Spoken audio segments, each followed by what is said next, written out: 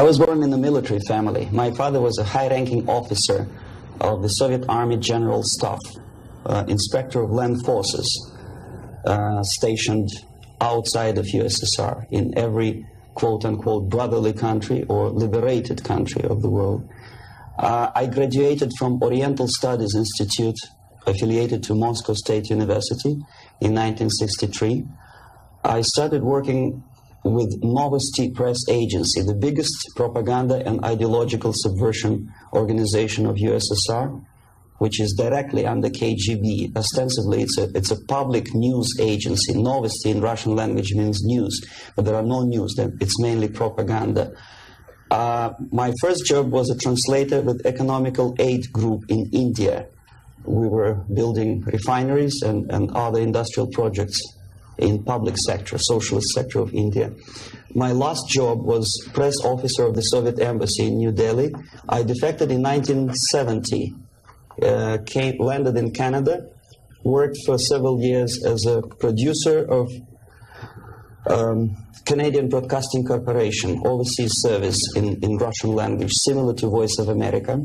Then I was teaching at uh, University of Toronto Political Science Department McGill University Slavic Studies, and School of Journalism Ottawa, in uh, Carleton University in Ottawa.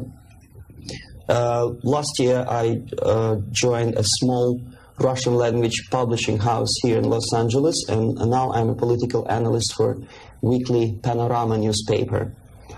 Uh, Lumumba University language instruction was my so-called extracurricular activity, uh, which is usually given to Soviet young communists as a non-paid job to prove loyalty to the party. I was instructing students from Asia, Latin America, and Africa before they entered an ideological indoctrination uh, uh, class. Uh, it was mainly uh, Russian language instruction after which the students usually join two-year or three-year extensive course in Marxist-Leninist ideolo ideological indoctrination, plus their own sub, uh, subjects of, of, their choice, uh, medicine, physics, uh, chemistry, whatever. Uh, if they, if after uh, five or six years studying, they they are uh, proven to be well flexible, loyal, uh, cynical enough to follow the Soviet foreign policy. They are being transferred to a KGB school for for, the, uh, for a period of two years, after which they are being dispatched back to their native countries and become so-called sleepers. Uh, uh, the word from originated from sleeping. For several years, they sleep in their own countries doing nothing. Sometimes they're pursuing their own careers, become lawyers, doctors, teachers, um, taxi drivers, barbers, and they spring into action after many years of destabilization of their own countries as Soviet agents. Therefore, all of a sudden, you discover uh, well established lawyers in, in, a country like Nicaragua who are, for some strange reason, are uh, bitterly against quote unquote American imperialism and idealistically for Soviet uh, Marxist Leninist imperialism. Uh, I joined Novosti Press Agency uh, before I graduated from the Oriental Studies Institute, where I studied Hindi and Urdu, two languages of Indian subcontinent. Urdu is the language of Pakistan, and Hindi is the language of India. The journalistic part of my training was ordinary journalism, mass media, uh, uh, communication theories, and, and studies together with that, we had a very extensive training in uh, military, civil defense, intelligence, and ideological subversion. So even before I graduated, I started working with Novosti Press Agency, first as a translator, interpreter, and guide with foreign delegations who were invited to USSR and who were shown all the beauties of socialism and dispatched back to their countries to explain to, uh, to their uh, people how beautiful is socialism. Uh, my role was directly linked with KGB activities of, of, brainwashing and psychological assessment of these guests. If they showed any sign of flexibility, which means uh, they showed that they were recruitable, uh, I passed them over to professional KGB recruiters, and from there on, they were actively being involved in ideological subversion and propaganda, both in USSR and in their own countries.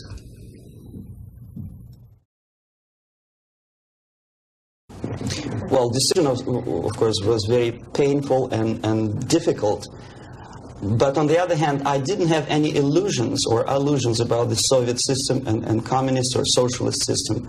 It's the most rotten and unworking system in the world.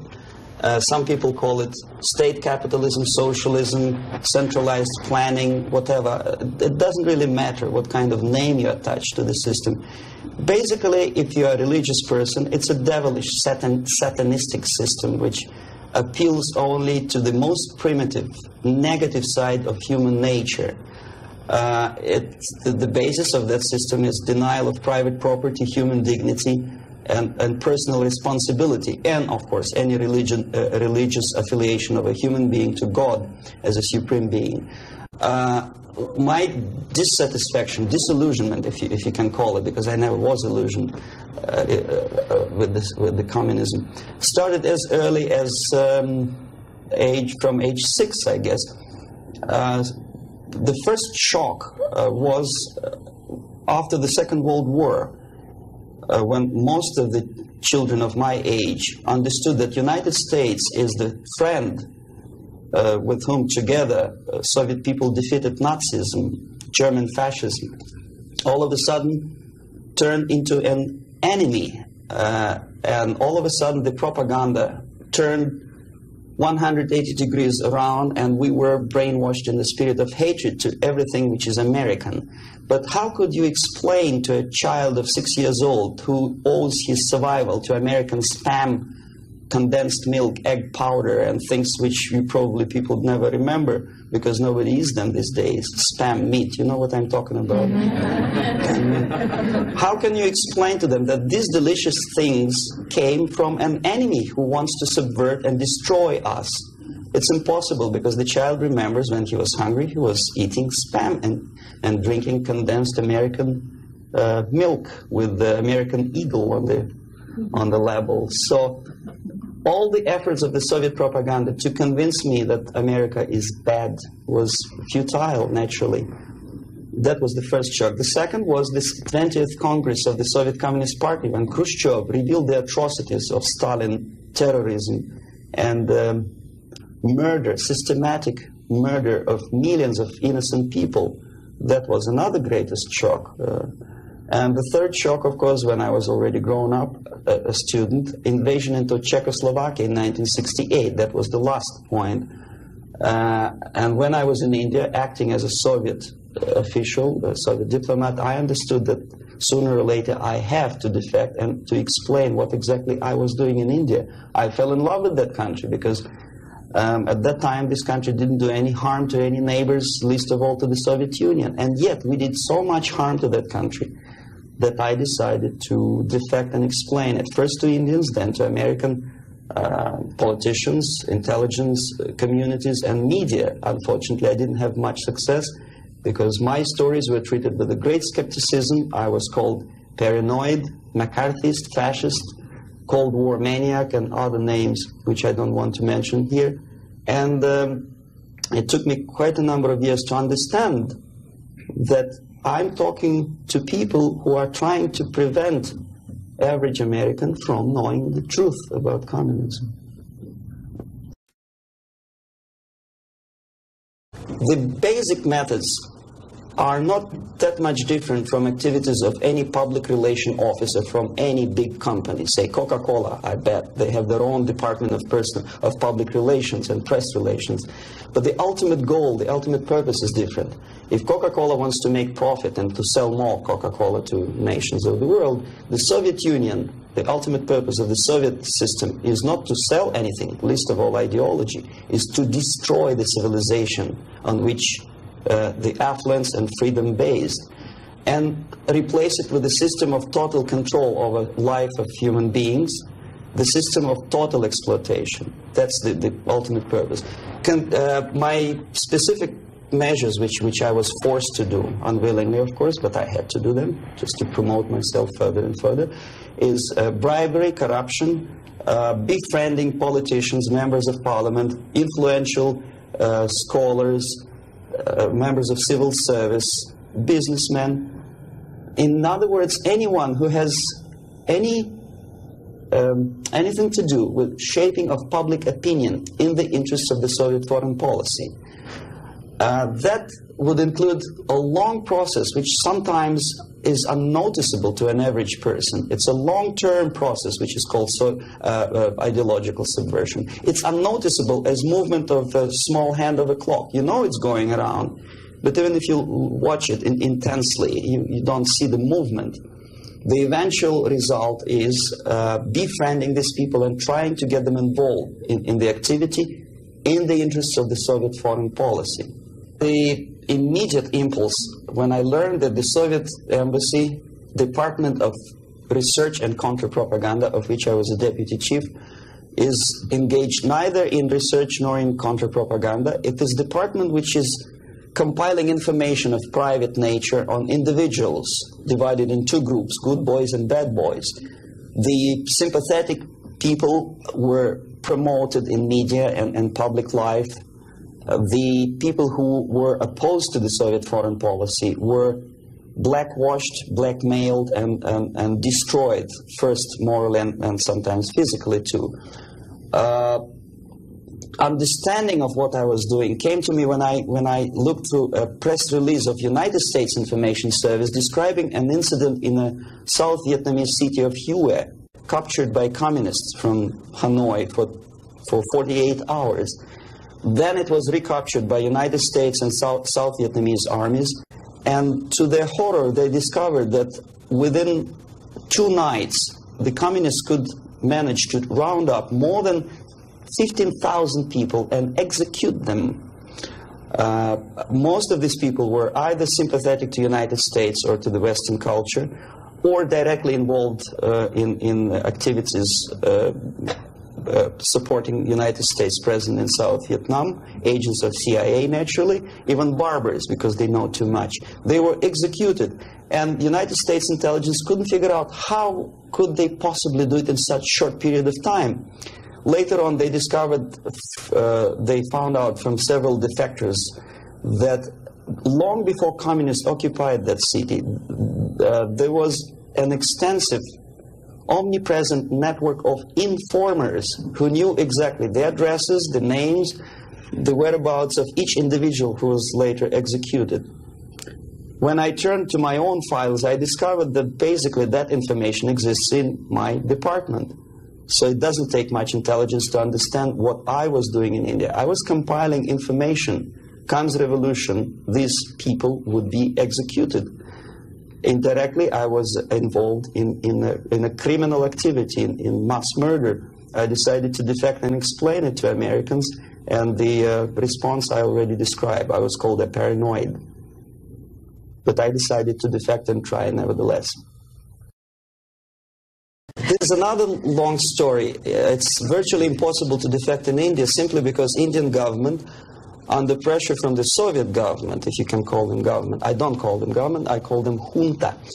Uh, they adopted a law as early as, as, as in 61 or 62, after, after Stalin's daughter defection especially.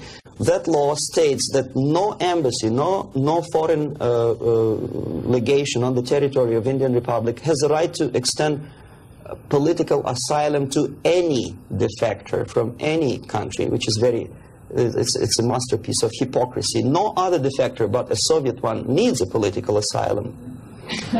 Uh, if you are a Canadian or American, if you want to be nasty to your own government, the maximum you can do is just to pick up a phone and uh, make a dirty phone call to your ambassador.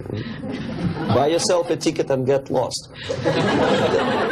what, what happens to a Soviet defector in, under that law? If I knock a door of, of United States Embassy, by that law, the American diplomats have to turn me back to the Indian police, and Indian police takes me back directly back to the Soviet embassy. And that's the end of, of my uh, defection.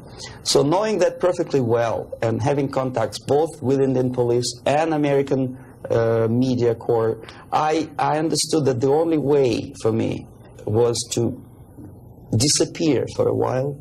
And the best way I discovered was to mix with group of hippies. Mind you, that that was the time I I was 13 years younger, so I looked slightly different, of course. Uh, I studied so-called counterculture in India. Uh, sometimes uh, good, sincere young people who wanted to study Oriental mysticism and culture and religion, but most of them were simply easygoing individuals who were delighted with exotic, exotic life and and um, the easiness with which they can purchase hashish and, and other drugs in India. And sometimes they traveled Indian subcontinent without any identification papers. So the best way to, to uh, escape detection was to mix with the group of hippies and travel in India uh, until the campaign in the media and, and in the police, uh, the police search will subside. All the newspapers in India carried my picture and uh, announcement of the police uh, that anyone coming forward with information about my whereabouts would receive 5,000 or 2,000 rupees. Knowing that perfectly well, I just walked in there barefoot with beads and blue jeans, smoking hash, and um, enjoying life. Until I found sympathetic journalists who smuggled me from India to Greece. Mind you, that was a military dictatorship at that time. Then only I approached uh, American CIA, and they helped me to uh, land in Canada as a legit, uh, ordinary uh, immigrant. So now I'm a Canadian citizen, as you can see from my patriotic tie. yeah, Canada is a kind of middle of the way, uh, of the road country where uh, there are so many various ethnic groups that another uh, strange character who speaks both Russian and, and English and two Oriental languages, I, I, I, didn't have any mm, problem uh, fitting into academic circles and first being just a student at University of Toronto and later a producer with the Canadian Broadcasting Corporation. I think it was successful, and until and unless the, there will be follow up to that uh, movie, uh, it will remain as, as, a, as an open wound in in United States as a scare tactic, uh, which in this particular case, I'm not sure whether KGB paid for production of that movie or not, but it's totally irrelevant. What is the most important, unless after seeing the tragic sequences of, of the uh, uh, nuclear attack, American population is not explained what to do about it. If you still stop at that and let it be, obviously, th this is the scare tactic, this is the greatest harm done to United States by, by Americans, by American filmmaker. I bet Andropov and all his disinformation uh, system could not, could not possibly do that much harm to the United States. When, when you see something obviously sponsored by the Soviets, uh, you understand, well, this is propaganda. You may or may not agree with this depending on your background and, and, and intelligence and education. But here it's a subtle approach, uh, playing on the most sensitive strings of your soul, appealing to, to the most basic instincts of, of, of human nature, survival. But there, there are no answers. How to survive? Well, obviously, disarmament is not the answer. Uh, simply because some people naively expect Andropov to blush uh, out of shame and reduce the number of warheads. Uh, it doesn't happen this way. This, we are facing unresponsive, irresponsible group of people for whom uh, nuclear war is not a theory, it's a practice, and the, the military strategy of the Soviet Union is designed to, to do nuclear war and to survive and possibly to win. I, I, was, I started my military training when I was six or seven year old, when I, when I entered secondary school. And I graduated in 63 after almost 15 years of continuous training as a junior lieutenant of reserve of the Soviet army. And uh, psychologically, every Soviet citizen is well prepared for, for, for war, nuclear war. And uh, technically, he is equipped with facilities and the knowledge how to use it in case of war or, or natural disaster. Doesn't matter.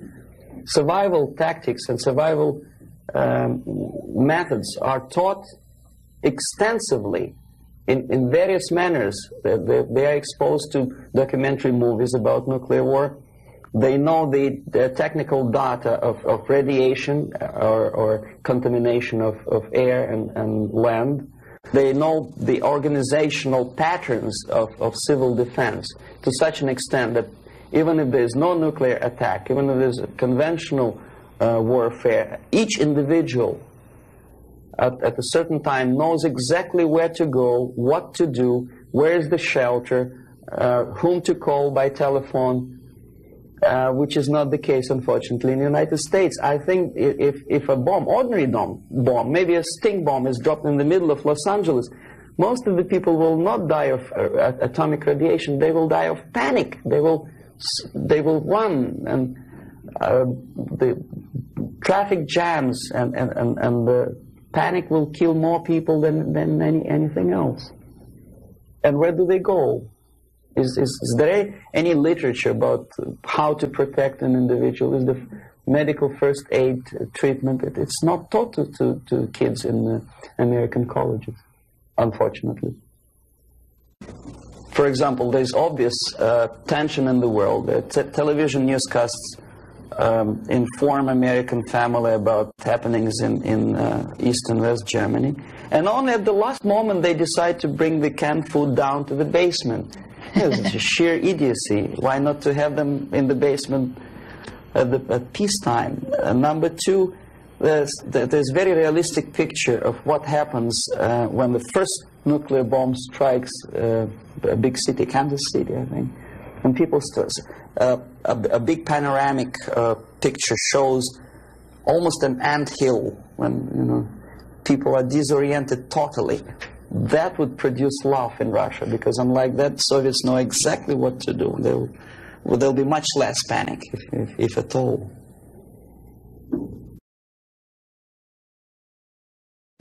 Uh, I, I know about infiltration of KGB into peace movement probably as much as an average uh, American who reads newspapers uh, systematically. But I, obviously, I, am aware that the World Peace Council is, is a front organization of, of the KGB. Romesh Chandra, I know personally, both in India and USSR. I work, worked with delegations of, of um, various peaceniks who came to the World Congress of, of, of Peace Council in Moscow. I think it was in 1961 or 62. Yeah, it was before Cuban crisis. And uh, at that time, they struck me as, as people who are pathologically unable to see the truth, uh, not to talk about the, the, military aspects. When, I, when as a translator and, and a guide, I used to take them to places in Moscow which are not supposed to be for foreigners' eyes. Uh, they didn't want to see it. Uh, they had their preconceived ideas. They, they were suffering fr from self-importance they thought it's, it's a great honor to sit in the Kremlin, in the Palace of, of Congresses, next to a, next to a debil from Kremlin, and uh, you know talk about peace as if uh, that person from Politburo means anything in, in peace movement. Self-delusion is, is the most predominant phenomenon among these people. Romesh Chandra is, is a very shrewd politician who takes advantage of naive, misguided, idealistically minded, sometimes sincere people. Uh, but he is, I, I, I would, my impression is that he's totally sold himself to the Soviets. He receives his payments or royalties or whatever you can call it in the form of prizes. Of course, it's very embarrassing if you, if you, if you approach a person of his caliber with money, with cash, and say, here, Comrade Romesh Chandra, there's money for your propaganda uh, in the interests of the Soviet Union. It's very unpolite. So instead, the Soviet Union creates artificial international bodies such as Jawaharlal Nehru Peace Committee, which consists of various progressive leaders, writers. Uh, sometimes they're, they're known figures and uh, philosophers, educationalists. Uh, sometimes they probably feel that if there's no other possibility to express the de desire for peace at least there is some legitimate overt activity where they can express themselves. That's okay. And they think they are too smart not to see that uh, part of it is Soviet propaganda. Okay, we are smart. We are not going to allow them to use us for propaganda purposes. This is wishful thinking because after five or six visits, visits to USSR, everything is paid by the Soviet uh, government. After spending several vacations on a Black Sea coast luxurious atmosphere with two or three nice girls, interpreters, lots of vodka and caviar, books published, vapid books which nobody reads in the United States, all of a sudden published in millions of copies in USSR in various languages. That tickles their ego. They think they're some somebody's all of a sudden. It's difficult to resist the temptation.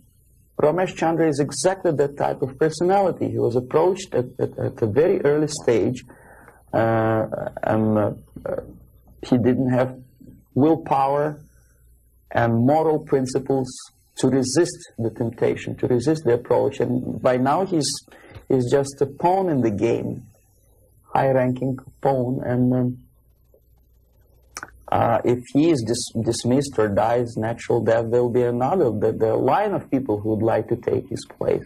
Yes, KGB takes very active part in the, in the peace movement. Uh, and if these people were sincere as they say they are, they would start demonstrating in Kremlin, or I mean in Red Square, not in Washington, D.C., or in, in, in, the Central Park in New York or in Los Angeles. But they don't have courage, they don't have guts to go to Russia and protest against the nuclear armament of the Soviet Union. Therefore, I agree that they are misguided, but I think they are cowards. They are unprincipled, dishonest people and there's no justification that they are misguided or poorly informed. It's their fault that they're poorly informed. There's enough information, there's enough possibility. In case of United States citizens, there's enough freedom to do what their consciousness should tell them to do. Go to Russia and protest against armament. It doesn't take much courage to, to, to, to take part in demonstration in Los Angeles. But if you're really genuinely concerned about peace, tell it to Brezhnev, tell it to Andropov, and we'll see how courageous and sincere you are. They don't do it. Well, the greatest strength, I think, is, is uh, uh, the, the basic principle of American democracy, common sense, and the, uh, the value of, of of the principles of private property and, and, and respect to human dignity and, and individ individual rights. The weakness is the permissiveness and lack of moral stamina, which, if you are a religious person, could be, could be interpreted as probably alienation from religion, alienation from God thinking too much in materialistic terms, thinking in short span of time for pragmatic advantages, disregarding the perspective of civilization. Some philosopher, I forget his name, I'm, i was a bad student in Moscow, said that the level of civilization is in direct proportion to the time span that human being thinks in, in future, for future. The least civilized people live today, this minute. The more civilized nations think about tomorrow, 10 years from now, 100 years from now. Well, this is one of the definitions of. Unfortunately, Americans are made to think in shorter and shorter time span terms.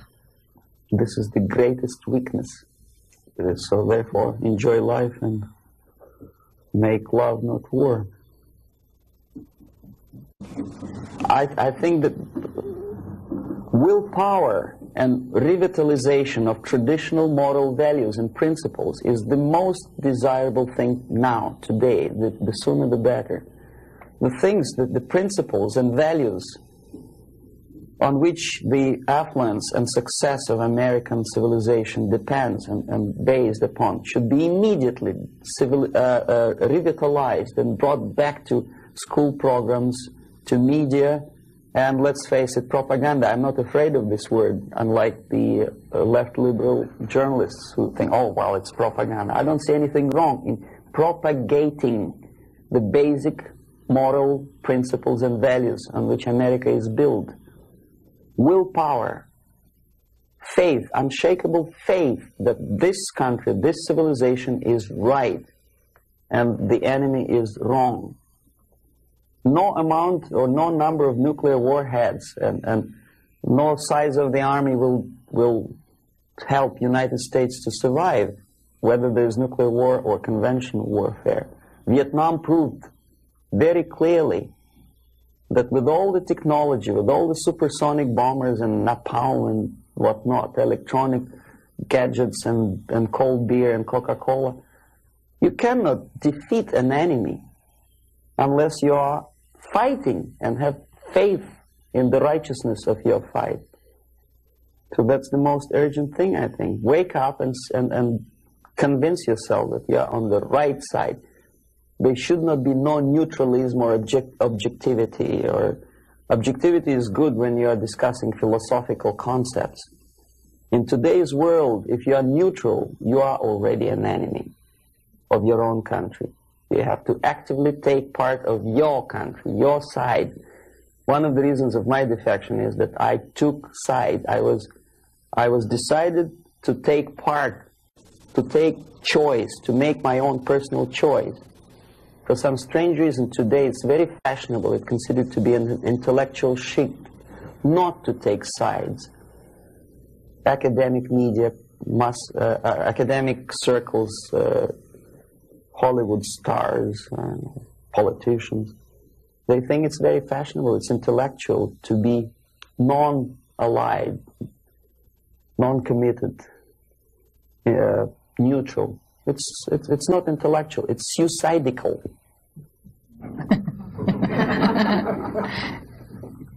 Suicidal. Subversion is the term, if, if you look in a, in a dictionary or criminal code to that matter, usually is, ex, is explained as a part of activity to destroy things like uh, religion, government, system, political, eco economical system of a country. And usually it's linked to espionage and such romantic things as blowing up bridges, sidetracking trains, um, cloak and dagger activity in Hollywood style. Uh, when what I'm going to talk about now has absolutely nothing to do with the cliche of espionage or KGB activity of collecting information. So the greatest mistake or mis mis misconception, I think, is that uh, whenever we are talking about KGB, for some strange reason, uh, starting from Hollywood movie makers to professors of political science and quote unquote experts on, on Soviet affairs or Kremlinologists as they call themselves, they think that the most desirable thing for Andropov and the whole KGB is to steal blueprints of some supersonic jet, bring it back to Soviet Union and sell it to the Soviet military industrial complex. It's only partly true. If, if, if we take the whole time, money, and manpower that the Soviet Union and KGB in particular spends outside of USSR border, we will discover, of course there are no official statistics unlike with CIA or FBI, that the espionage as such occupies only 10 to 15 percent of money, time, and manpower. 15 percent of the activity of KGB. The rest, 85 percent, is always subversion. And unlike a dictionary of English, Oxford Dictionary, subversion in Soviet terminology means always a destructive, aggressive activity aimed to destroy the country, nation, or geographical area of your enemy. So there's no romantics in there, absolutely. No blowing up bridges, no microfilms in Coca-Cola cans, nothing of that sort. No James Bond nonsense. It's most of the, this activity is overt, legitimate, and easily observable if you give yourself time and trouble to observe it. But according to the law and, and law enforcement systems of the Western civilization, it's not a crime. Exactly because of misconception, manipulation of terms. We think that subverter is a person who is going to blow up our beautiful bridges. No. Subverter is a student who comes for exchange, a diplomat, an actor, an artist, a journalist like myself was 10 years ago.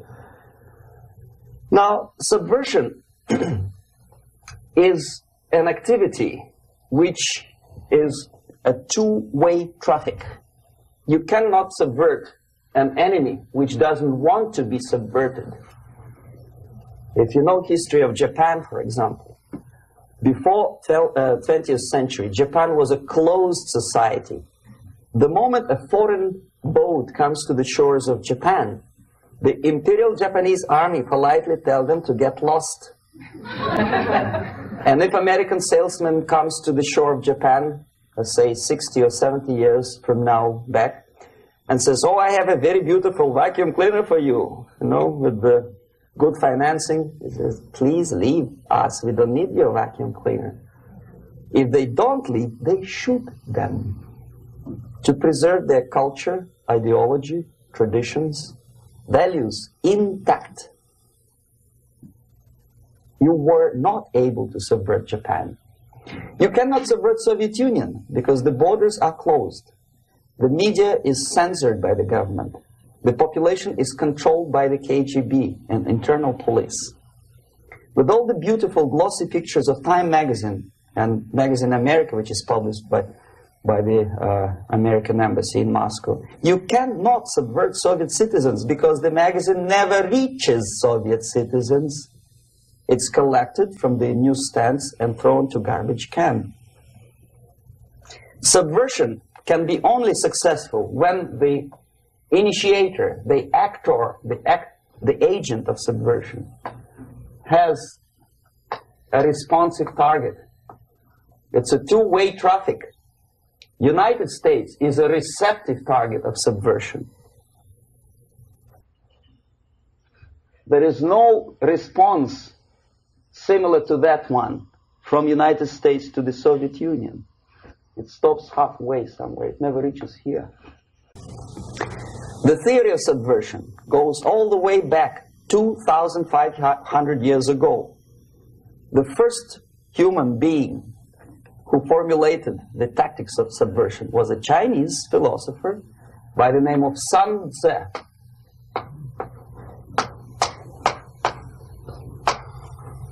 To 2500 years BC. He was an advisor for several imperial courts in, in ancient China. And he said, after long meditation, that to implement foreign, uh, to implement state policy in a warlike manner. It's the most counterproductive, barbaric, and inefficient to fight on a battlefield. You know that war is continuation of state policy, right? So if you want successfully to implement your state policy, and you start fighting, this is the most idiotic way to do it. The highest art of warfare is not to fight at all, but to subvert anything of value in the country of your enemy until such time that the perception of reality of your enemy is screwed up to such an extent that he does not perceive you as an enemy and that your system, your civilization, and your ambitions look to your enemy as an alternative if not desirable, then at least feasible. Better red than dead. That's the ultimate purpose, the final stage of subversion, after which you can simply take your enemy without a single shot being fired. if the subversion is successful. This is basically what subversion is. As you see, not a single mentioning of blowing up bridges. Of course, Tzu didn't know about blowing up bridges. Maybe there were not that many bridges at that time. but the basics of subversion is being taught to every student of KGB school in USSR and to officers of, of military academies. I'm not sure if the same author is included in the list of reading for American officers, to say nothing about ordinary students of political science. I had difficulty to find the translation of Sun Tzu in, in the library of, of a university in Toronto and later on here in, in Los Angeles. But it's a, it's a book which is not available. It is forced to every student in USSR. Every student who is, who is taught to be dealing further in, in, in his future career with foreigners. What subversion is? Basically, it consists of four periods, time-wise. If we start from here and go this way, time, right? This is the beginning point. The first stage of subversion is the process which is called basically demoralization. It says for itself what it is.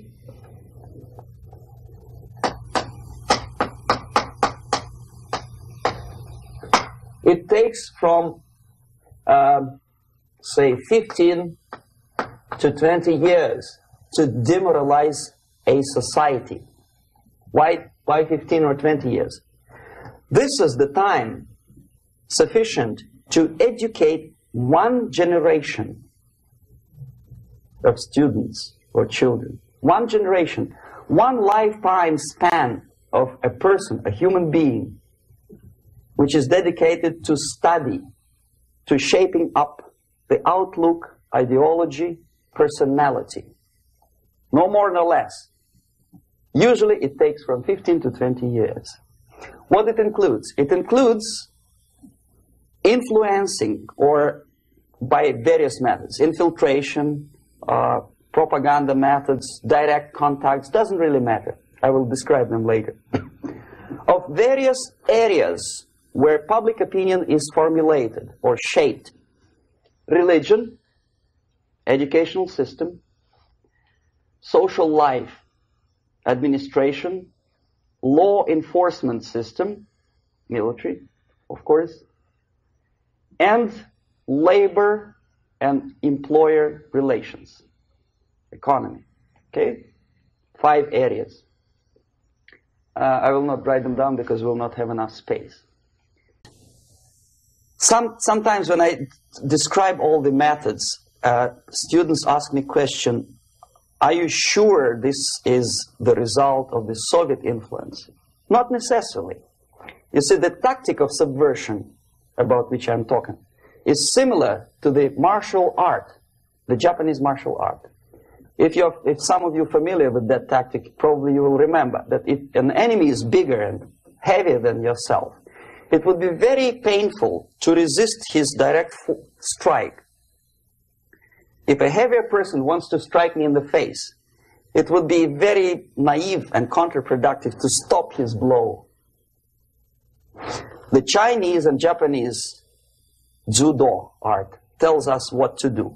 First to avoid the strike, then to grab the fist and continue his movement in the direction where it was before, right? Until the enemy crashes in the wall. You see? So, what happens here? The target country obviously does something wrong. If it's a free democratic society, there are many different movements within the society.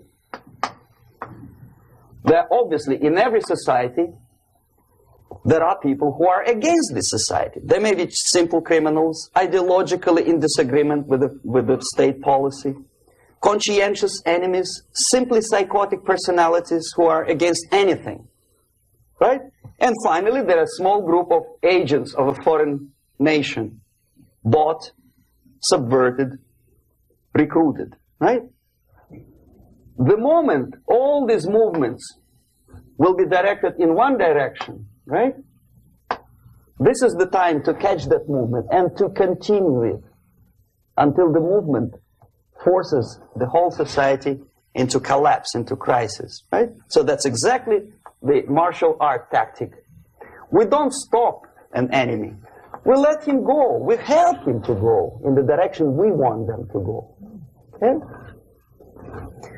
So, on the stage of demoralization, obviously there are tendencies in each society, in each country, which are going to opposite direction from the basic moral values and principles, to take advantage of these movements, to capitalize on them, is the main purpose of the originator of subversion. So we have religion, we have education, we have uh, social life, we have power structure, we have labor relations, uh, unions, and finally we have law and order. Oh, one, two, three, four, five, six. Okay? These are the areas of application of subversion. What it means exactly. In case of religion, destroy it, ridicule it, replace it with various sects, cults, which bring people's attention, faith, whether it is naive, primitive, doesn't really matter. As long as the basically accepted religious dogma is being slowly eroded and taken away from the supreme purpose of religion to keep people in touch with, with the supreme being. That serves the purpose. Therefore, replace it, accepted, respected religious organizations with fake organizations. Distract people attention from the real faith and attract them to various different faiths. Education, distract them from learning something which is constructive, pragmatic, efficient. Instead of mathematics, physics, foreign languages, chemistry, teach them history of urban warfare, natural food, uh, home economy, your sexuality, anything, as long as it takes you away. Okay? Uh, social life, Replace traditionally established institutions and organizations with fake organizations. Take away the initiative from people. Take away the responsibility from naturally established links between individuals, group of individuals, and society at large, and replace them with artificially, bureaucratically controlled bodies. Instead of social life and friendship between neighbors, establish social workers institutions. A people who are on payroll of whom? Society? No. Bureaucracy. The main concern of social workers is not your family, not you, not social relations between groups of people. The main concern is to get the paycheck from the government. What will be the result of their social work doesn't really matter. They can develop all kind of concepts to show them, to show to the government and to the people that they're useful. Okay, away from the natural links, power structure. Okay, the natural bodies of administration, which are traditionally either elected by by people at large or appointed by elected leaders of society are being actively substituted by artificial bodies the bodies of people, groups of people, whom nobody elected. Never. As a matter of fact, most of the people don't like them at all, and yet they exist. One of such group is media. Who elected them? how come, how come they, they, face, they, they, they have so much power? Almost monopolistic power on your mind. They can rape your mind. But who elected them? How come they are they have a nerve to decide what is good and what is bad for, for the elected by you president and, and his administration. Who the hell are they? Uh, Spiro Agnew, who was hated by the liberal left, called them a bunch of enfeebled snobs. And that's exactly what they are. They think they know. They don't. The, the level of mediocrity in a big establishment like New York Times, Los Angeles Times, major television network, you don't have to be excellent journalist. You have to be exactly a mediocre journalist. That's easier to survive. There's no competition anymore. You have your good, nice income, $100,000 a year. That's it. Whether you are better or worse doesn't really matter anymore. As soon as you're smiling to the camera and do your job. That's it. No more, no more competition. Power structure slowly uh, is eroded by the bodies and groups of people who do not have neither qualification nor the will of people to keep them in power, and yet they do have power. Okay. Together with that, there is another process. Law enforcement, law and order uh, organization and structure is being eroded. For the last 20, 25 years, you, you, if, if you see old movies and new movies, you can see that in new movies, a policeman, an officer of the United States Army looks dumb, angry, psychotic, paranoid. A criminal looks nice, kind of, well, he smokes hash and, and shoots the uh, whatever drug, but basically he's a nice human being. He's creative. And he's unproductive only because society oppresses him. Whereby a general of Pentagon is always by definition a dumb, a war maniac. A policeman is a pig, rude policeman. He abuses his power. No? A generality, generalization like that. The hatred, the mistrust to the people who are supposed to protect you and enforce law and order. Moral relativity. The Angelo Buono process lasted two years in Los Angeles. And yet there are still some lawyers who say, look, he's a nice character, as a matter of fact. There was some witness who said, also a criminal, who said, well, he's a nice guy. I asked him one day to burn a house of my enemy, and he wouldn't do it. nice fella. Erosion. a slow substitution of basic moral principles, whereby a criminal is not a criminal, actually. He's a defendant. Even if his guilt is proven, there is still a doubt to kill or not to kill, to be or not to be. Thou shall not kill, yes. But this uh, line may not necessarily be applicable to a murderer. Thou shall not murder. That should be the, the, the presumption, not, not that thou shalt not kill. Okay, labor relations.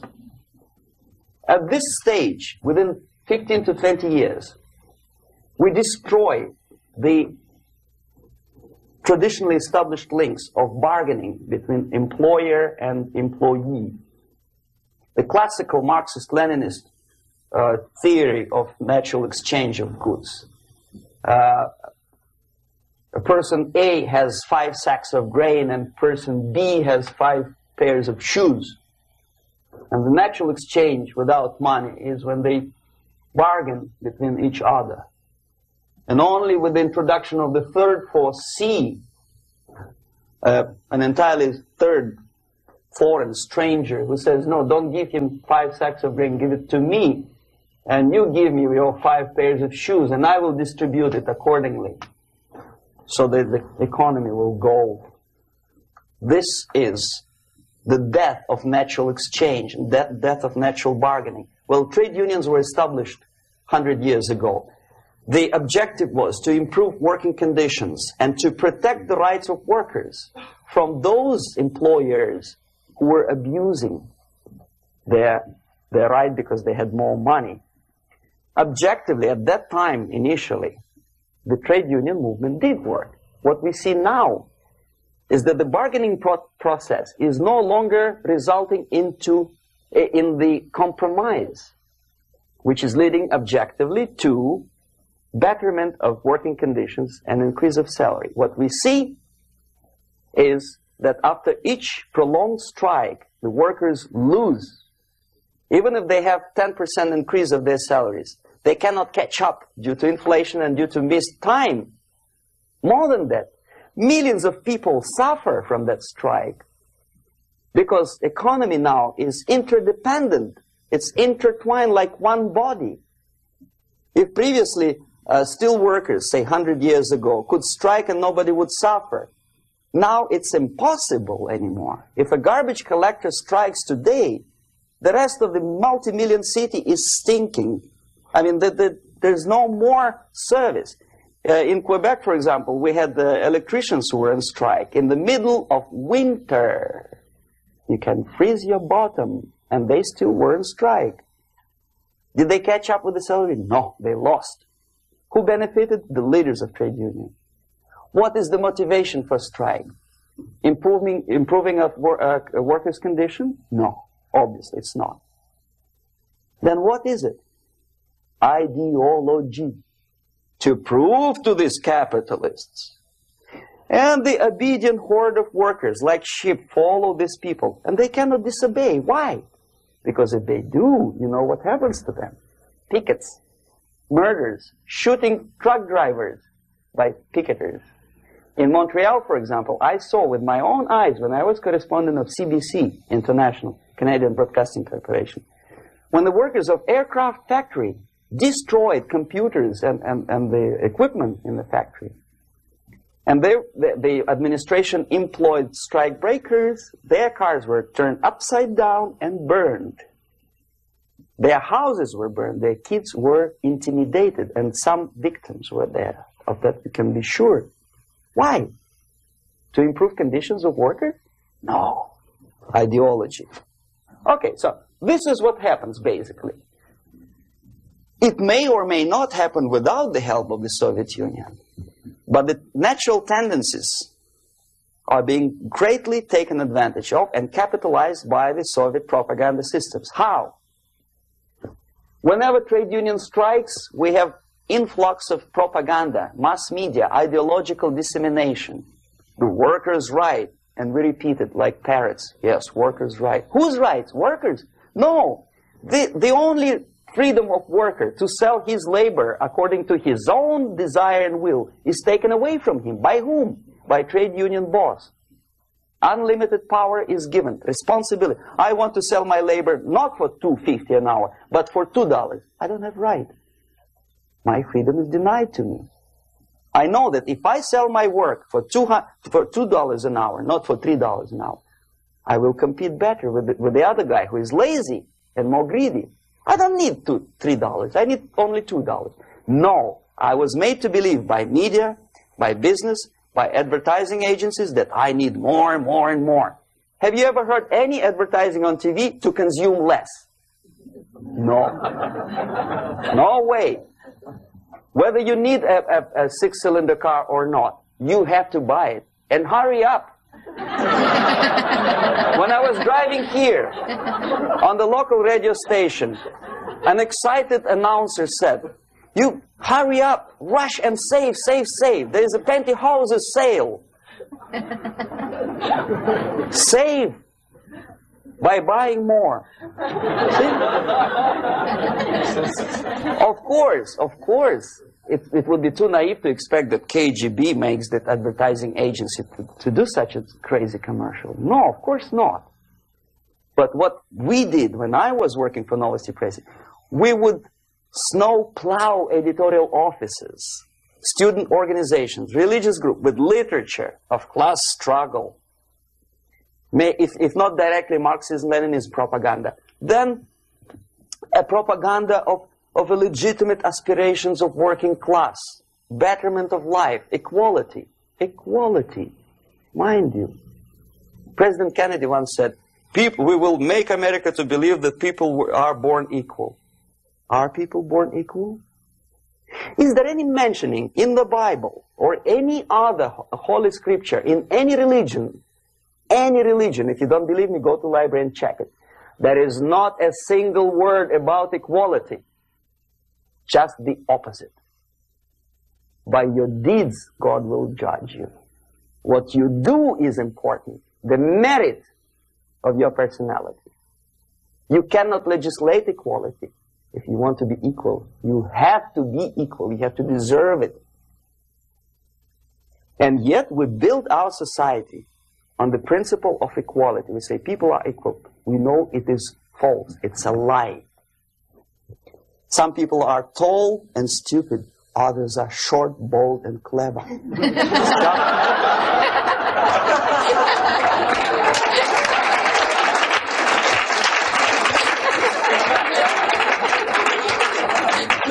if we make them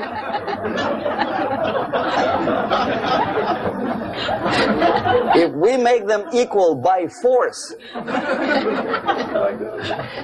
if we put the principle of equality in the basis of our socio-political structure it's the same thing as building a house on sand. Sooner or later it will collapse and that's exactly what happens. And we, as Soviet propaganda makers, are trying to push you in the direction which you go yourself. Equality. Yes, equality. People are equal. Land of equal opportunities. Is it true or not? Think about it. Equal opportunities. Should there be equal opportunities? For me and for a lazy bastard who come here from some other country and immediately registers as, as a welfare uh, recipient benefits? I never received a single dollar. No, sorry, I did receive once. But I never applied for welfare. For the 13 years, I took any job. Security guard, journalist, taxi driver, anything. Well, I was restless, but some people don't like it. They immediately, so why should we be, why should we have equal opportunities? Why? The equal opportunity to excel equal opportunity in equal circumstances, yes, but we know people are different. To excel, yes, provided we reach the same level of excellency, perfection, which is hypothetical, distant future. Yes, maybe. But we know perfectly well that even with the best intentions, people could not be equal. Why should we have equality in, uh, uh, in, in the, uh, say, legal system? Myself, I'm, I'm considering myself a law-abiding citizen, and a person who comes here to rob and shoot, say the United States administration under Carter, imported thousands of Cuban criminals. They were non-criminals, yet they were accepted. Do you think it's fair if myself and my wife from Philippines who work like a, excuse me, horse as a lab technician in, in the hospital, should have the same rights as a criminal from, from Cuba? Why? And yet we repeat as parents, equality, equality, equality. And the Soviet propaganda system helps us to believe that equality is something which is desirable. Democracy, as it was established by fathers of this country, of, of this system in the last century, is, is not equality is the system where different people, unequal people, have a chance to survive and help each other in constant competition, in constant perfection, not inequality, which is superimposed from, from a, a, a godfather or a nice person in Washington, D.C. And the absolute equality exists in Soviet Union, quote unquote equality. Everybody is equal in, in dirt except some people are more equal than the others in Politburo. so, the moment you, you bring a country to the point of almost total demoralization, when nothing works anymore, when you are not sure whether it is right or, or wrong, good and bad, but there's no division between evil and good, when even the Leaders of church sometimes say, well, violence for the sake of justice, especially social justice, is justified in the countries like Nicaragua, El Salvador, well, maybe Rhodesia. And we listen to them and say, yeah, probably it's true. Is it true? No, it is not true. Violence is not justified, especially for the sake of quote-unquote social justice introduced by Marxist-Leninists. That is my former colleague from Novosti Press Agency. Okay, so we reach that point. The next step is destabilization.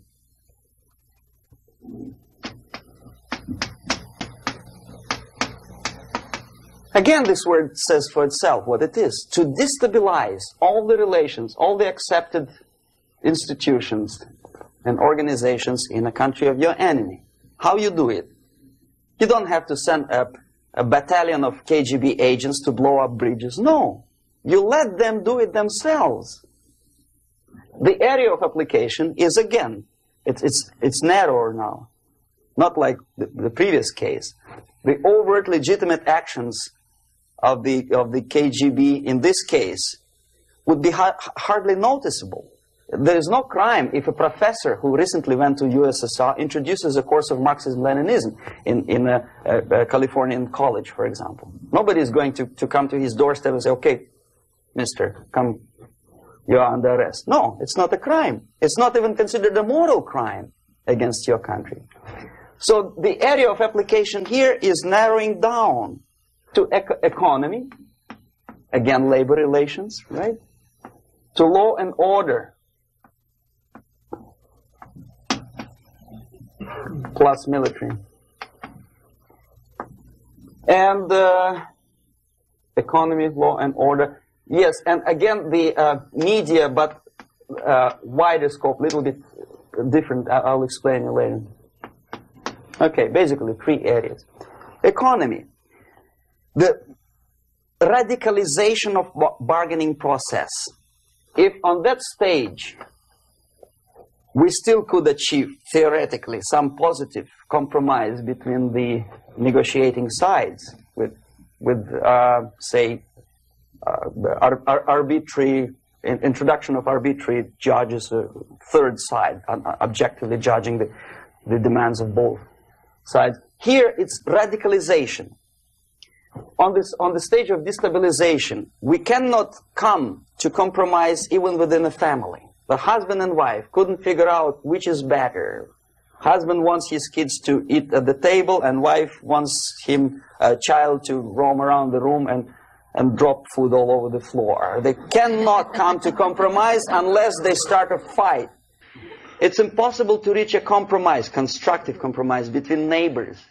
Some people say, I don't like you to watering your lawn at that time because exactly at that time I'm walking my dog and he's getting nervous he cannot uh, pass his bowels, you know. So they cannot compromise. They go to a, a, a civil court or something like that. Radicalization of human relations. No more compromise. Fight, fight, fight. The normal, traditionally accepted relations are destabilized. The relations between teachers and students in schools and colleges. Fight, the, the relations between, in economical sphere, between uh, laborers and, and employers are further uh, radicalized. No more acceptance of the legitimacy of demands of workers. Unlike Japanese, with the theory Z, if you, if you ever heard about it, where the workers are involved in decision-making process, therefore they don't have uh, moral incentive to, to fight their, uh, uh their bosses. In the United States, it's just the opposite. The harder is the, the fight, the better. The more heroic they look. When the Greyhound uh, uh, network was on strike recently, the correspondents of local TV networks uh, all over the United States were approaching these strikers and they say, oh yes, we are doing something nice. They look like heroes and they were proud. There was some family, uh, the husband was a bus driver, now they decided in, in, in, in a protest against the uh, uh, bosses to camp somewhere in the forest. And they were presented to the, to the audience as, as a heroic, nice people. You see? The violent clashes between passengers, picketers, and, and the strikers are presented as something normal. 10, 15, 20 years ago, we would, we would be uh, we would be angry, say, why, why, why so much hatred? Today we are not. We say, well, commonplace. Radicalization, militarization sometimes. As I explained uh, uh, on that stage, I, I took a step a little bit further. Shooting people. Okay, law and order now also is uh, pushed into the area where previously people settle their differences uh, peacefully and legitimately. Now, we are getting with this uh, uh, court cases in the in the smallest irrelevant cases. We cannot solve our problems anymore. The society at large becomes more and more antagonistic between individuals, between groups of individuals, and the society at large. The media puts himself in the opposition to the society in general, at large. Separate, alienated. Okay? On that stage, you remember I was talking uh, a, a couple of hours ago about the sleepers. That's when the students from, say, United States, if they are trained in, in Lumumba University, or developing nations, that's the students I was dealing with, are being sent back from the Soviet Union here. Or if they were already in the United States, in the country which is the object of, of subversion, they spring to action the sleepers go up.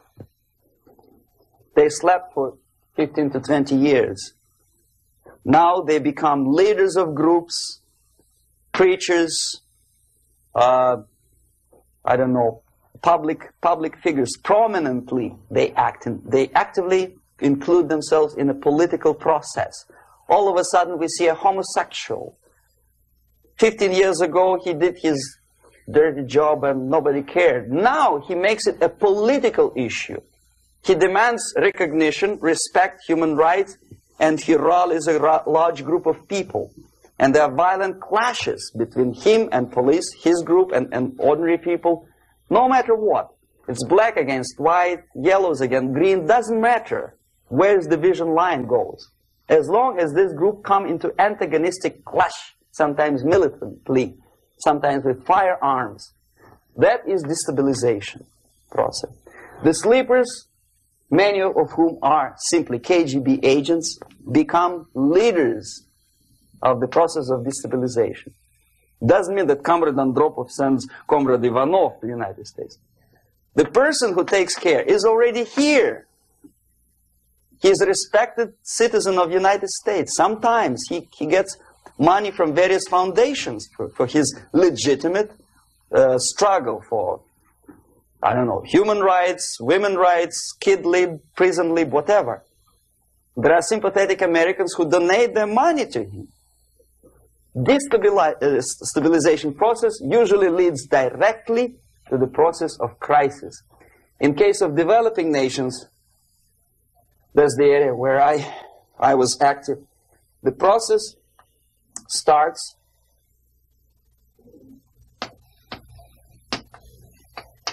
when when the legitimate bodies of power, the social structure collapse, it cannot function anymore. So instead, we have artificial body injected into society, such as non-elected committees. You remember I was talking about them here social workers who are not elected by people, media who, self, who are self-appointed rulers of your opinion, uh, some strange groups uh, which claim that they know how to lead society forward. They don't usually. All they care is how to collect donations and, and, and sell their own concocted ideology, mixture of religion and ideology. Here, we have all this artificial body claiming power if the power is denied to them, they take it by force. In case of Iran, for example, all of a sudden we have revolutionary committees. Who, what, what kind of revolution? There was no revolution yet, and yet they had the committees. They were taking power of, of judgment. They had, they had the power of execution, they had the power of, of uh, le legislation, and that they had the power of, of uh, judicial uh, all of them combined in one person who is half-baked intellectual, sometimes graduated from Harvard University or, or Berkeley. He comes back to his country and, he, he thinks that he, he knows the answer to all the social economical problems. Okay? Crisis is when society cannot function any more productively. It collapses, obviously. That's the, the word for crisis. So therefore, the population at large is looking for a savior. The religious groups are expecting a Messiah to come. The workers say, we have family to feed. Let's have a strong government, maybe socialist government, centralized. When, when somebody put, put the employers on their place and, and let us work. We are sick and tired of going to strike and, and missing overtime and all that stuff. We need some strong man, strong government, a leader A savior is needed. Population is sick and tired already. And here we are. We have a savior. Either a foreign nation comes in, or the local group of, of leftists, Marxists, no matter what they call themselves, Sandinista, a reverend or, or some sort, Bishop Muzorewa, like in, in Zimbabwe, doesn't matter. A savior comes and says, I will lead you. So we have two alternatives here. Civil war and invasion. Okay? See how it goes? Civil war, we know what it is. Lebanon is, is the best example. The civil war, which was artificially implanted in Lebanon by injection of force of PLO, Palestinian Liberation Organization. Invasion we had in many other countries like Afghanistan, uh, name any East European country, it, it was invaded by the Soviet army. But the result is the same. The next stage is normalization. Normalization is a very ironic word, of course. It is borrowed from 1968 situation in Czechoslovakia when the Soviet propaganda and after them New York Times declared the country is normalized. The tanks moved into Prague, so there's no more Prague Spring, there's no more violence, normal, normalization.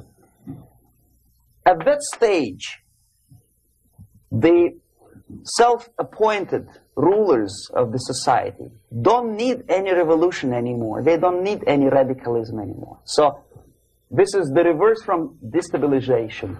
Basically, it is stabilizing the country by force.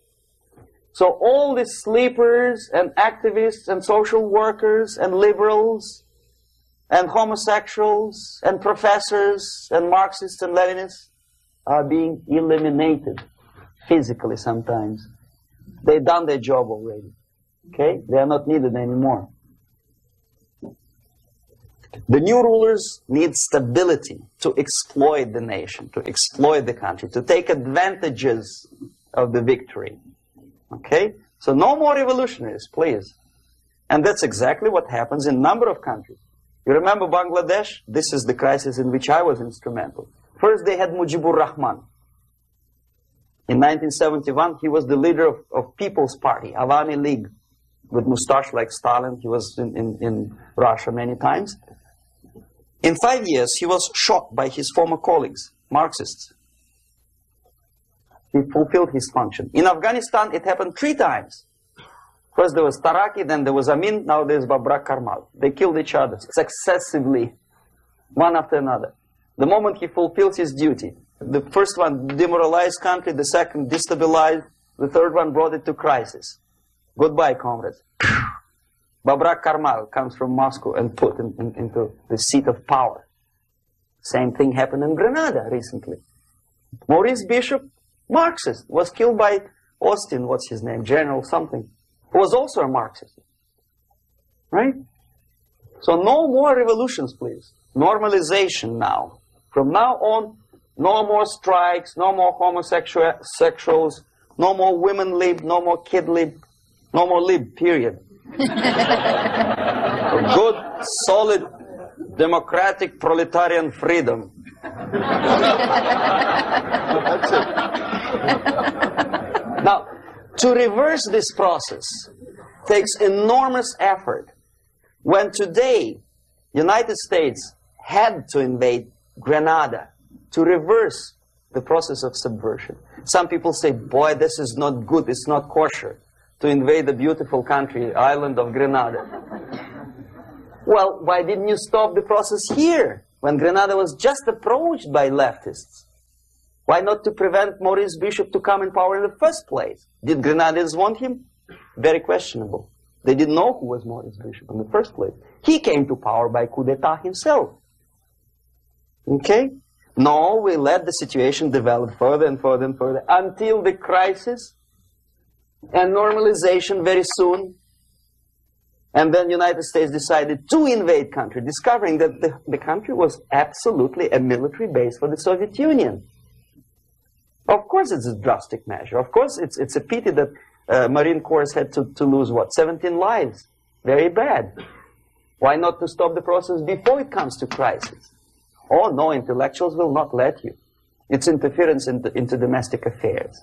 They're very careful not to, not, not to let American administration to interfere in domestic affairs of Latin American countries. They don't mind Soviet Union interfere in these affairs.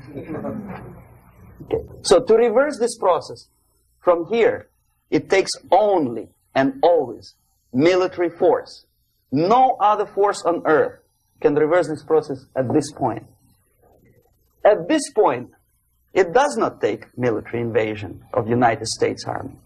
It takes strong action, like in Chile. A CIA covert involvement to prevent the savior from outside to come into power and to stabilize country before it erupts into civil war. Okay? Support the right-wing conservative forces. By money, by crooks or love, doesn't matter. Stabilize the country. Don't let the crisis develop into, into civil war or invasion. Oh no, your liberals will say it's, it's against the law. The Congress will not appropriate money for covert actions of CIA. Why not? Should we wait till the normalization come and Soviet tanks land in, in, in Los Angeles airport? Now, at that point, at the point of destabilization, also the process could be reversed. Again, easily than this. No CIA involvement at this point. You know what it takes here? restriction of some liberties for small groups which are self-declared enemies of the society. As simple as that. Oh no, the media and liberals will tell you this is against the American Constitution. How can we, uh, by force, deny the civil rights to criminals, for example? It's, it's not good. Okay? So we allow them to. Okay, if you allow the criminals to have civil rights, go on and bring the country to the crisis. This is a bloodless way to do. Curb the rights. I mean, not to put them in prison. No, no, I'm not talking about putting all the gays from San Francisco in the concentration camp. Do not allow them to take political force. Do not elect them to the seats of power, whether it is municipality level, state level, or federal level. It has to be bitten in the heads of American voters that a person like that in the seats of power is an enemy. Do not be afraid of this word. It is an enemy. If he is not an enemy here, he will be here. Later on, he will be shot, of course. but at this point, he is an enemy. Okay? You are doing great service by denying him a right to capitalize on his own crazy ideas and become a powerful man, a, man who uses the seat of power. Restriction of certain freedoms and permissiveness at that point would prevent sliding into crisis and probably will return the process of destabilization. To curb unlimited power, monopolistic power of trade unions, here, at that point, would save economy from collapsing to, introduce a law to stop private companies of raping public opinion's mind in, in, the, in the direction of consumerism. No company must have a right to force you into buying more unless you want it. There must be a law. You want to advertise your, your car? Okay. But not a single mentioning of buying it now and saving money. it must be against the law to force people to consume more. Self-restraint. Previously, before this process started, the self-restraint was a business of church, religion. Because our preachers, the fathers of church, would tell us, material values are good, but it's not the prime function of human being. Because you have to live with something.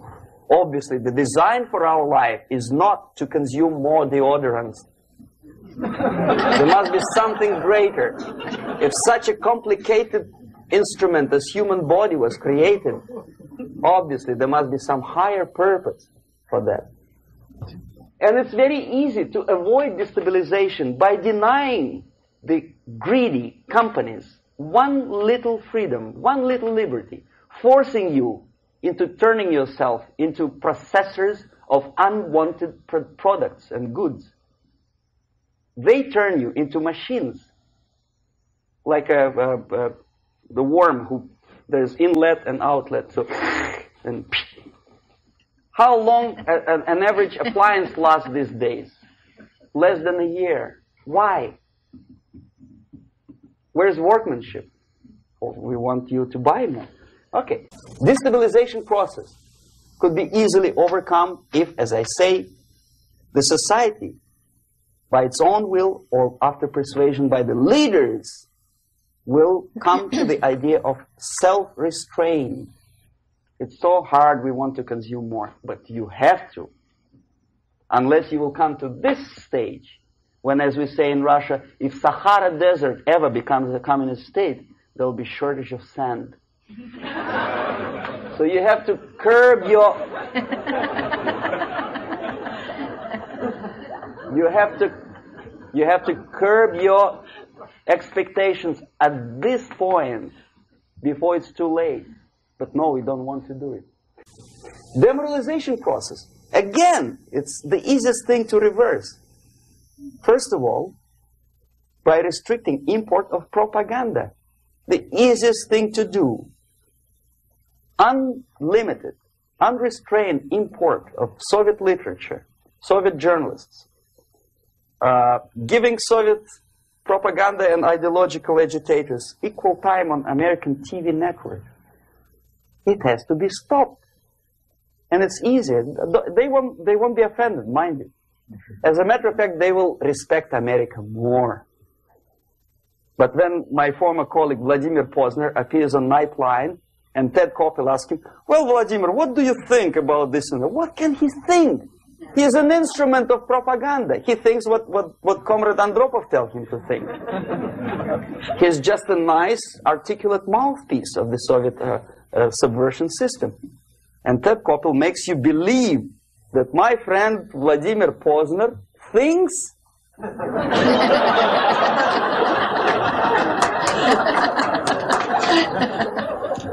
the process of demoralization may not have started at all if at that point the country, which is a recipient of subversion, actively, not violently, but actively, prevents importation of foreign ideology. I don't want America to follow the pattern of ancient Japan. You don't have to shoot every foreigner when it approaches the sacred borders of the United States. But when he offers you a junk in the disguise of very shiny something, you have to tell him, no, we have our own junk.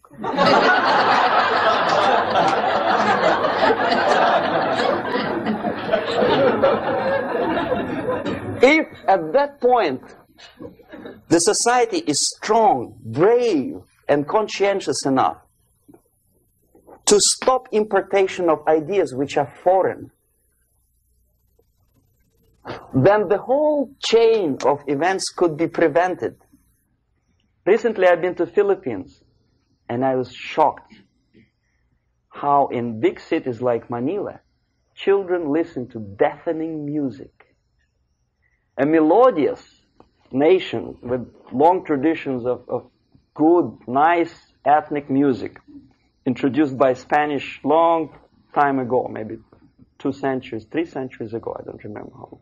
All of a sudden listen to musical garbage, blasting their radios at, at full blast, at, at full volume. Why? In India, I spent many years watching the reactions of Indians walking out of movie theaters after seeing Hollywood production. They, they couldn't figure out why Americans are so wasteful. They smash their cars, their shiny cars every five minutes. How come they shoot each other for half million dollars? Is it true that they are so sex, sex uh, uh, I mean, obsessed with sex? Can you imagine showing a movie where each five minutes there's a, a copulation on the screen to a country like India with long traditions, tradition of, of uh, respect to, to these private matters, or to Pakistan? And United States expect these people to respect you? No way. Oh yes, they will see the movie. They'll pay five rupees to see that garbage. But they walk out and will tell their kids, don't respect Americans. Don't be like Americans. See? So, the process of demoralization could be stopped right here, both as an expert and as an import. And that takes one step, one very important thing to do. You don't have to expel all the KGB agents from Washington, D.C. The most difficult and at the same time the simplest answer to the subversion is to start it here and even before by bringing back the society to religion, something that you cannot touch and eat and put on yourself, but something that rules society and makes it move and preserve it. A Soviet scientist, Shafarevich, who has nothing to do with religion, he is a computer scientist, did a very intensive research on the history of socialist countries. He calls socialist or communist any country with a centralized economy and a pyramidal style of power structure.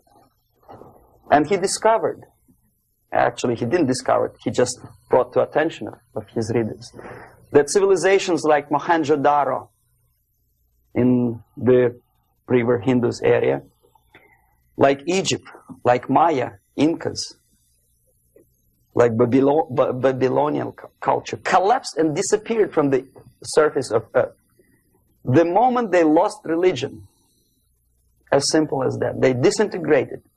Nobody remembers about them anymore. Well, distantly. so,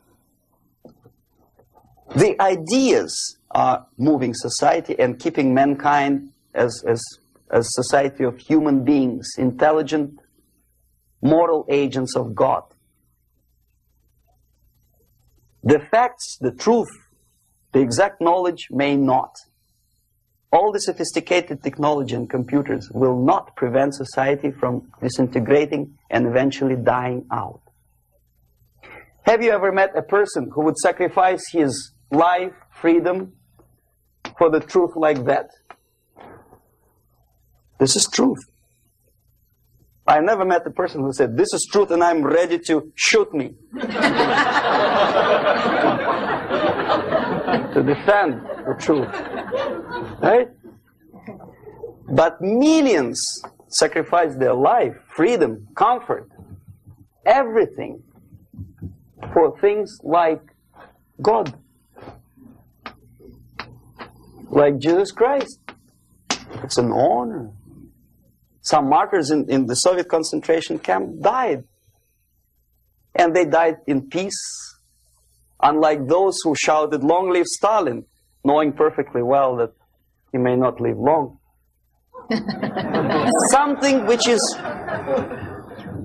something which is not material moves society and helps it to survive. And the other way around. The moment we turn into 2 by 2 is 4 and make it a guiding principle of our life, our existence, we die. Even though this is true, and this we cannot prove. We only can feel and have faith in it. So the answer to ideological subversion, strangely enough, is very simple. You don't have to shoot people, you don't have to aim mi missiles and Pershings and cruise missiles at Andropov's headquarters. You simply have to have faith and prevent subversion. In other words, not to be a victim of subversion. Don't try to be a person who in judo is trying to smash your enemy and being caught by your hand. Don't strike like that. Strike with the power of your spirit and moral superiority. If you don't have that power, it's high time to develop it.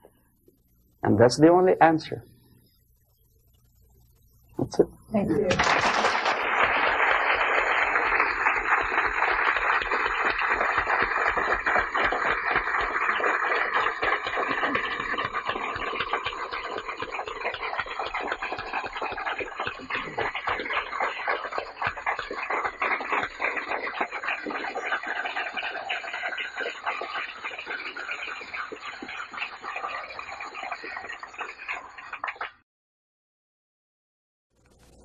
Can you describe how a concept is formulated, turned into propaganda, and then ends up on someone's bumper sticker or in a newspaper? What's the step by step process?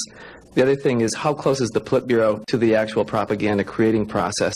Mm-hmm. And finally, uh, the 007 incident was uh, notable in the fact that it took a long time before the Soviets responded to it, and then the military took the lead in terms of explaining what had happened rather than the uh, political organs and I wanted to know why that actually happened. Mm-hmm. Okay.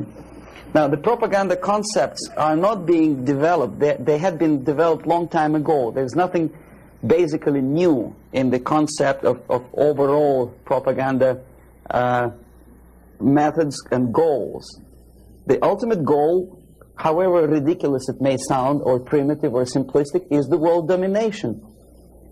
Many uh, many experts in foreign policy would ridicule my opinion, but this is what it is. I saw it with my own eyes. I was a part of that. So, and my father was, I think I mentioned that before. He was an inspector of land forces. He traveled all over the world where the Soviet troops were stationed. So he knows perfectly well that the troops are not stationed there to collect harvests for Cubans or, or to help Afghanis to, to uh, develop the, uh, the herds of cattle or goats. They are there for one purpose, world domination. The concepts, the immediate issues or problems are created, of course, for propaganda purposes, and they end up at, as a bumper stickers, probably not uh, long, uh, it takes really short period of time. Unlike some other things in, in the Soviet system, uh, propaganda takes propaganda is one of the things that they don't save money on, and um, there is a, a, huge apparatus of propaganda experts in USSR. Novosti Press Agency is just one of them, one of the organizations. But apart from them, that there is a Department of Agitation and Propaganda with this, within the Central Committee. There are faceless people, names of whom you will never learn. Uh, they are kind of classified. Uh, I didn't explain you the methods today because it will take us another day. The methods include such thing as semantic manipulation. The words and expressions are being coined at the rate of five expressions a minute by extremely clever, educated experts. And the media outside of USSR obediently repeats this cliche. I give you just several examples, not, not to take your time, not to bore you to death. Okay, I mentioned one thing, United Nations. The expression was invented by the Soviet propaganda experts, not by Americans. We know perfectly well it's not united and it has nothing to do with nations. More than half of the delegations in UN do not represent any nation at all. Uh, they are disunited, obviously. Uh, the United Nations had not been able to solve a single military conflict. Nowhere in the world. Uh, they provoked war, yes, they took part in wars, but they didn't prevent expansion of communism or, or they did not prevent a single war anywhere. So the true expression, the true term for United Nations could be disunited bureaucracies. okay, another cliche which was coined in Moscow by experts of propaganda. National Liberation Movement. It's not national because most of the leaders do, do not necessarily belong to the ethnic group which they lead, number one. Number two, they are unpatriotic and unnationalistic because they they obey orders from a foreign country, USSR. Okay? They are trained in USSR, they are paid by the Soviet system, and they, they work in the interests of the Soviet system. Liberation. Whom they are liberating? Who is being liberated? And movement. Movement, we understand, is something which moves, unlike uh, something which is static. National liberation does not move. It's a war. If, if, you, if you call war a movement, probably. But it, it has nothing to do with uh, the concept of movement in, in American terminology. It means a legitimate, overt, organized, voluntary uh, movement. Right? I presume your, your church or your organization is voluntary. Nobody keeps you here by force. Okay, National Liberation Movement is an army of bandits, professional bandits, which are kept kept in, within the framework of the movement by force. If they betray, it's like in mafia, they are going to be executed. Okay, another example of semantic manipulation is, uh, mm, okay, mm, free medical aid, for example. You think it's, it's an American democratic expression. No way. This, this, the term was coined by, by the communists long time ago at the time of Comintern. There's nothing free in this world. Everybody knows it. Least of all medical aid. It's a very expensive thing to render medical assistance to other people. To Somebody, sometime, somewhere has to pay for it. Who? Taxpayer. Hmm? obviously. There are many other things that are being coined by, by the Soviet propaganda apparatus. Unfortunately, see, if, if I call myself a genius, a genius writer, for example, Los Angeles Times would not call me that, right? They will call me a strange, crazy Russian who calls himself a genius. Then why the hell they call liberation movements uh, liber what, what, what they call themselves? Just because they are many? Hmm? The logic is twisted.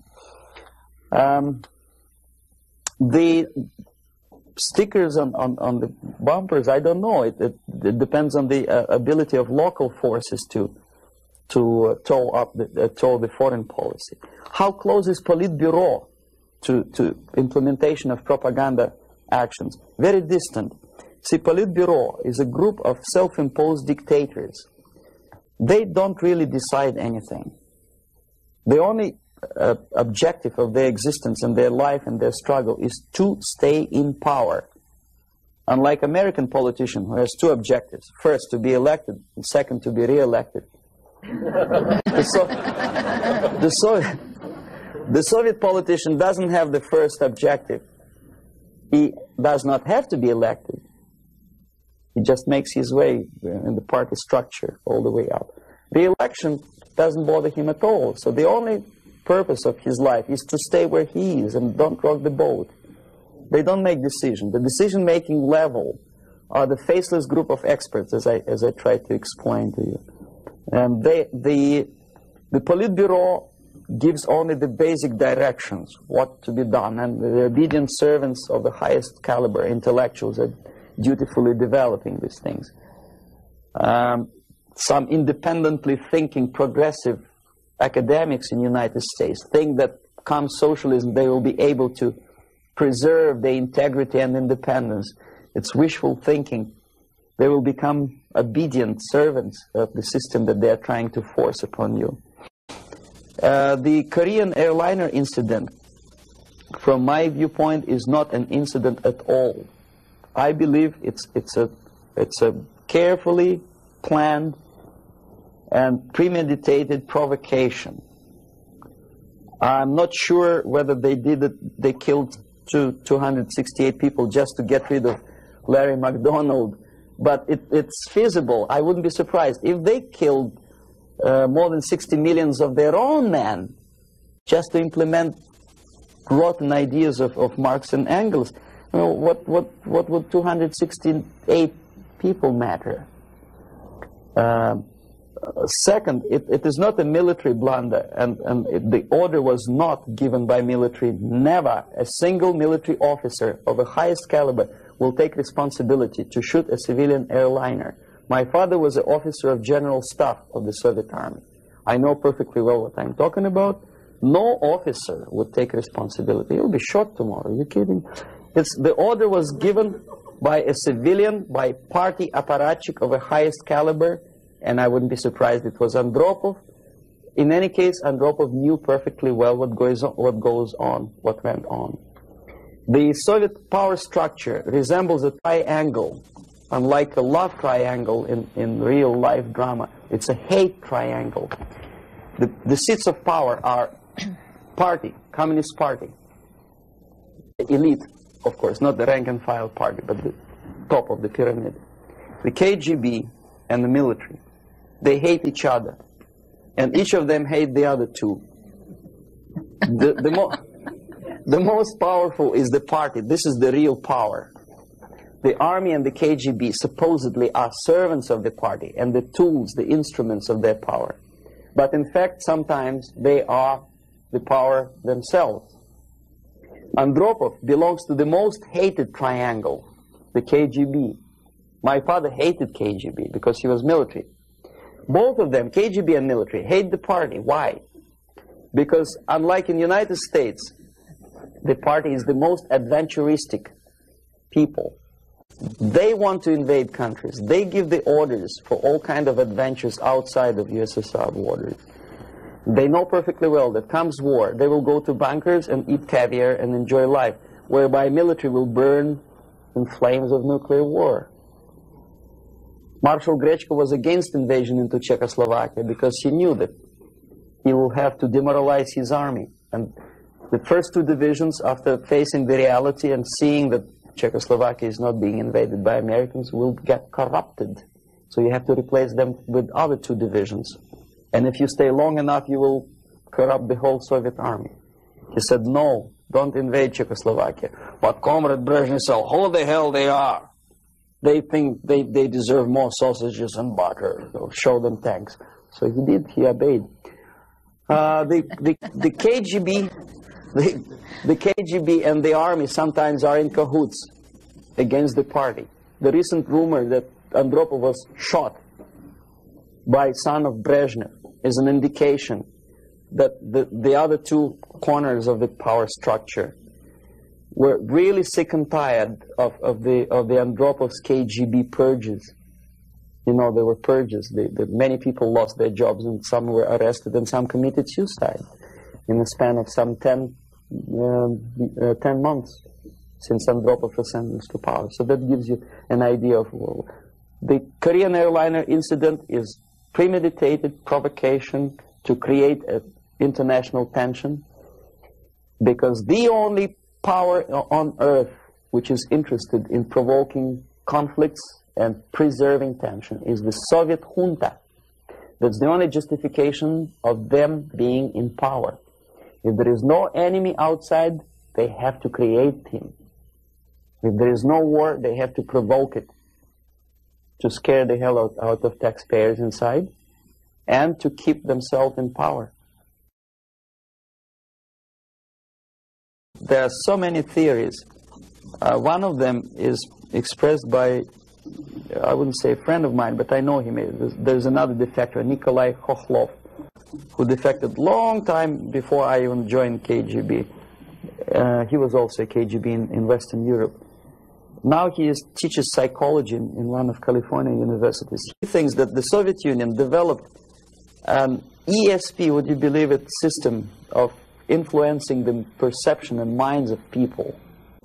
And the, the generators of ESP willpower can be focused on individuals and groups of individuals so efficiently that you can literally focus that beam or whatever it is on a pilot or two pilots or three pilots and convince them that actually they are flying on the safe territory so there is no need, you can convince them that there is no need to, to contact the, the, the ground-based station. And you can artificially draw the plane by brainwave into the Soviet airspace. Whether it is true or not, I don't know. But I know one thing that when I was a student and I graduated from Oriental Studies Institute, one of my friends, he was a extremely intelligent Jewish boy. He graduated from the mathematical uh, department of Moscow State University. After three years, I returned from India for, for vacation, and I met him in the um, on uh, during the reception at the Academy of Science, and I say, "What are you doing here?" He said, "I'm working in the secret research bureau." You know, the secret, which means basically defense uh, industry. They don't have addresses; they have post box numbers. And I say, it's not, is it that much secret that you cannot tell me what you research? He said, you wouldn't believe me? Brain waves. And I never saw him again. ESP, which officially in the Soviet media is uh, described as a pseudoscience and decadent capitalist gimmick to sidetrack the minds of proletariat from the real issues of class struggle. But obviously KGB takes seriously that pseudoscience.